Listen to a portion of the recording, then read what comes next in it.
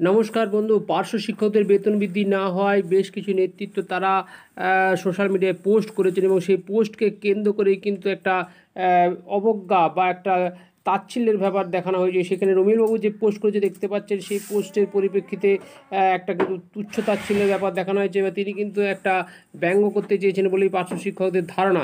এছাড়াও ভগীরথবাবু, তিনিও কিন্তু একটি পোস্ট করেছেন সোশ্যাল মিডিয়ায় তারই পরিপ্রেক্ষিতে কিন্তু একজন পার্শ্ব শিক্ষক, তিনি কিন্তু প্রচণ্ড ক্ষুব্ধ এবং রেগে গেছেন। তিনি কি বলেন ওই সমস্ত নেতা নেত্রীদের উদ্দেশ্যে অবশ্যই শুনুন বন্ধুরা ফোনটা করলাম ফোনটা ধরলেন না সে ঠিক আছে অসুবিধা নেই কিন্তু একটা আমি ভয়েস মেসেজ দিচ্ছি, সেটা একটু ভালো করে শুনুন স্যার আমি কিছুক্ষণ আগে, আজকে হচ্ছে পাঁচ তারিখ, পাঁচই আগস্ট, আমি এই সাড়ে আটটা নাগাদ স্বপন মণ্ডলকে ফোন করেছিলাম। কারণ ব্যাডমিন নিয়ে উনি দুটো বক্তব্য পেশ করেছেন। সেই ব্যাপারে ওনার সঙ্গে দীর্ঘক্ষণ কথা হলো। তাতে অনেক কিছুই জানতে পারলাম। প্রথমত আপনাকে বলি, সেটা হচ্ছে আমাদের রাজ্য সরকার পনেরো হাজার প্রাইমারি এবং আপার প্রাইমারিতে কুড়ি হাজার বেতন চেয়ে একটা প্রস্তাব পাঠিয়েছে। সেই প্রস্তাবে ডকুমেন্ট আছে, কিন্তু সেই ডকুমেন্ট ওনার কাছে রয়েছে। উনি বিকাশ ভবন সূত্রে, আধিকারিক সূত্রে পেয়েছেন। এই মুহূর্তে শেয়ার করতে পারবেন না। কিন্তু ওনার কাছে আছে। দরকার হলে উনি সেটা দেখাতে পারেন। কেন্দ্রীয় সরকার নাকি সেটাকে, সেই প্রস্তাবটাকে মান্যতা দেয়নি এখন পর্যন্ত। তাই রাজ্য সরকারের সদিচ্ছার উপরে নির্ভর করছে। তো আপনাকে একটা কথা বলি দাদা। এই উত্তরটা দেবেন আমাকে, যেটা আমি বলছি। ট্যাব নিয়ে যখনই লাফালাফি হলো এবং চেঁচামেচি হলো, আপনি এতক্ষণ ধরে চুপ করে বসেছিলেন, কতক্ষণে এটা কি হবে না? তার মানে আপনি হচ্ছে সেই রকম মানুষ, প্রতিবেশী যখনই আপনি দুঃখ দেখলেন, ভিতর দিয়ে হাততালি দিচ্ছেন। কারণ আপনি প্যারাটিচারের নেতা এদিকে প্যারাটিচারে ভালো কিছু যেই হলো না, তাই সঙ্গে সঙ্গে ফেসবুকে লেখা শুরু করে দিলেন। তা আপনাদের মতন নেতা যারা, আপনি এইরকম মানসিকতার যদি পরিচয় দেন, ভগীরথ, মধুমিতা সমস্ত যারা নেতা, এদের নেতার আমাদের কোনো প্রয়োজন নেই দাদা। খারাপ কথা বলবেন না। নিজেদের আখের গোছাতে ব্যস্ত যারা যারা চুপচাপ বসে রয়েছে এবং প্যারা টিচারদের কিছু হলো না, তাতে আনন্দ পেয়ে মানে হাততালি দেওয়া শুরু করলেন। আপনি কি করতে পারেন সেটা নিয়ে ভাবছেন না। প্যারা টিচারদের জন্য কোনো প্যাবেক ঘোষণা হলো বা প্যাবেক কিছু নেই বা থাকবে না বা প্যাব নিয়ে চেঁচামেচি হচ্ছে সেটা ঠিক আছে। এবার আপনি ওটা পঁচিশ হাজারের সঙ্গে চল্লিশ হাজার মানে ঠাট্টা তামাশা শুরু করে দিলেন। এটা প্যারা টিচারদের নিয়ে এইভাবে করবেন না চিনিমিনি খেলাটা ঠিক না। আপনি আপনাকে তিনবার ফোন করলাম আপনি ফোন ধরলেন না। ঠিক আছে? এর কিন্তু খেসারত আপনাকেও দিতে হবে। কোনো নেতা ছাড়বো না। আপনাকে ছাড়বো, কথা দিচ্ছি কিন্তু। আমি গৌতম কর্মকার। কথা দিচ্ছি, সে শক্তবিন্দু বন্ধু থাকব মানে আমি যদি আমার যদি মরতে হয় না, মরার আগে আমি আপনাদের মতো নেতাদের দেখে নেব।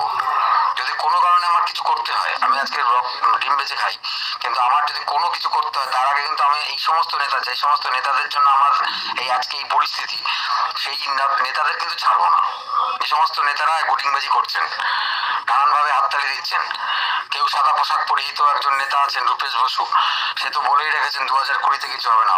বড় হনু হনু নেতা, এই সমস্ত নেতাদের সামনাসামনি যদি পাই না, বলে দিচ্ছে এই লকডাউন বলে রিয়াক্ট করব না। কারণ তৃণমূলটা ভাববেন না যে আপনারা করেন। আপনি তো রমিউলদা পরে এসেছেন তৃণমূলে। আমরা তৃণমূলটা প্রথম থেকে করি।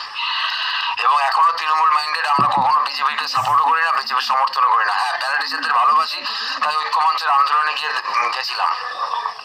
ওখানে গেছিলাম। বিজেপিকরণ করার জন্য না। দিদিকে এখনও ভালোবাসি, ভবিষ্যতেও বাঁচবো। প্যারাটিচারদের কিছু না হলেও বাঁচবো। আর মনে রাখবেন, আপনার থেকে বড় তৃণমূল আমি। থেকে বড় তৃণমূল আমি, আবারও বলছি। আপনি পর- প্রথমে সিপিএম ছিলেন বা অন্য মাইন্ডেড ছিলেন, সেখানে আপনি আন্দোলন করেছেন। আপনার সেই অনশন আন্দোলনে আমি গেছি। তখন দিদি ভোটে একটা বাই ইলেকশন জিতেছে। আপনি তখনও ওখানে বসে অনশন করছিলেন। সেদিনও আপনাকে সাপোর্ট করতে গেছিলাম। তারপরে আপনি তৃণমূলে এসেছেন। এখন যদি আপনি বড় তৃণমূল হয়ে যান, তাহলে এটা ভুল হবে। আর আপনি ফোন করলে ফোন ধরেন না হ্যাঁ আমার ফোন আপনার আপনি কেন? মন্ত্রী শুভেন্দু অধিকারী তিনিও ধরেছেন। তার সঙ্গে কথা বলেছি, তার সঙ্গে হোয়াটসঅ্যাপে মেসেজ করি। আমি কোনো মিথ্যা কথা বলি না। আমার কাছে প্রমাণ আছে। আর তারা যদি ফোন ধরতে পারে, স্বপন মন্ডল আপনার থেকে অনেক বড় নেতা। তিনি যদি ফোন ধরেন, যখন তখন কথা বলি। জয়দেবগিরি তৃণমূল শিক্ষা সেলের অনেক বড় নেতা। আজকে উনি হয়তো বর্ষিয়ার নেতা, উনি হয়তো তৃণমূল শিক্ষা সেলটা নেই। তার সঙ্গে সবসময় কথা বলি। আর আপনি ফোন ধরলেন না। তবে আমাদের নিয়ে রাজনীতি করাটা বন্ধ করুন, আপনি পারলে কিছু করার চেষ্টা করুন। না করলে কিন্তু প্যারাটিচাররা ছাড়বো না, আমরা কিন্তু কেউ ছাড়বো না। আবারও বলছি, আপনাকেও ছাড়বো না, ভগীরথকেও ছাড়বো না, মধুবেদীকেও ছাড়বো না। রাজনীতির খেল শেষ করে দেবো। বলে দিচ্ছি, এটা আবারও বলছি, দাদা, শেষ রক্তবিন্দু পর্যন্ত।